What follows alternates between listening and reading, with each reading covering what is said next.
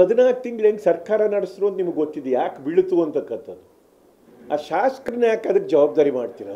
ಈಗಲೇ ಇಷ್ಟು ಗೊತ್ತಾಗ್ತಾ ಇದೆ ನಿಮ್ಮದು ಹದಿನಾಲ್ಕು ತಿಂಗಳ ಕಾಲ ಇವರು ಸರ್ಕಾರನ ಪರಸ್ಪರ ಎಷ್ಟು ವಿಶ್ವಾಸದಿಂದ ಪ್ರೀತಿ ಸರ್ಕಾರ ನಡೆಸಿದ್ದಾರೆ ನಂಬಿಕೆಯಿಂದ ಅನ್ನೋದು ಇದು ಗೊತ್ತಾಗತ್ತೆ.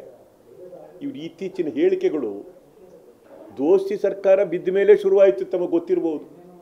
ದೇವೇಗೌಡರು ಎಂಥ ಹೇಳಿಕೆಯನ್ನು ಸಿದ್ದರಾಮಯ್ಯನವ್ರ ಮೇಲೆ ಕೊಟ್ಟರು ಕುಮಾರಸ್ವಾಮಿ ಅವರಿಗೆ ಕೊಟ್ಟರು ಸಿದ್ದರಾಮಯ್ಯ ಪ್ರತಿಯಾಗಿ ಯಾರು ಕೊಟ್ಟರು ಸರ್ಕಾರ ಬೀಳಕ್ಕೆ ಯಾರ್ಯಾರು ಕಾರಣ ಅಂತ ಸಿದ್ದರಾಮಯ್ಯನವ್ರು ಹೇಳಿದ್ರು, ದೇವೇಗೌಡರು ಏನು ಹೇಳಿದ್ರು ಕುಮಾರಸ್ವಾಮಿ ಅವರು ಹೇಳಿದ್ರು, ಆಗಲೇ ಅದು ಎಲ್ಲರಿಗೂ ಕೂಡ ಗೊತ್ತಿರ್ತಕ್ಕಂಥ ವಿಚಾರನೇ.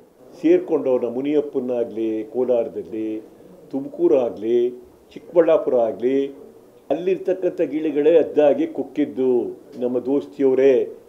ಅದು ದಳ ಇರ್ಬೋದು, ಕಾಂಗ್ರೆಸ್ ಇರ್ಬೋದು ಅವರು. ವಿಶೇಷವಾಗಿ ಕಾಂಗ್ರೆಸ್ನವ್ರಿಗೆ ಅನ್ವಯ ಆಗಂಗೆ ಹೇಳಿರತಕ್ಕಂಥದ್ದು ಅವರು.